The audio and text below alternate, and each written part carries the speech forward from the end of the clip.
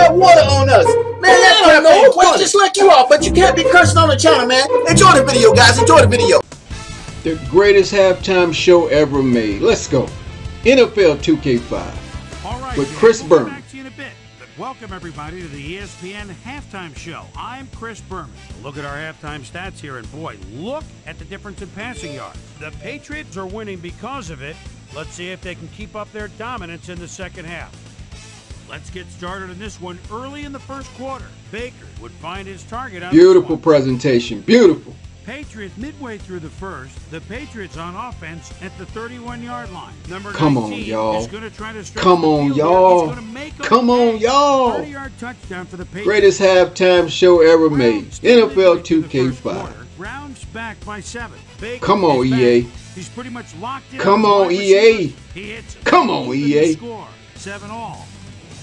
Patriots now in the second quarter. Tom Listen to this presentation by Chris Berman, baby. on this one. Come on, guys. This game was made in Patriots. Pats out 2004. front, Come on, 2K. Baker connected with his man on this one. Patriots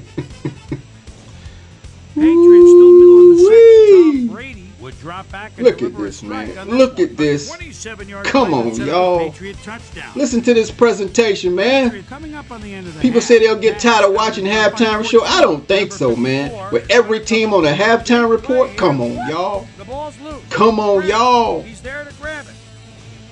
Of course, it would have to be Coming up on the end of the franchise mode, of course. Come on and connect on the Yeah, this is beautiful. This is beautiful. 42-yard field goal. And that's where we'll leave this one. Pats are up at the half, 21 to 10. The greatest halftime show ever made. Time now for our halftime hero award, which recognizes the most dominant player of the first half. Duh.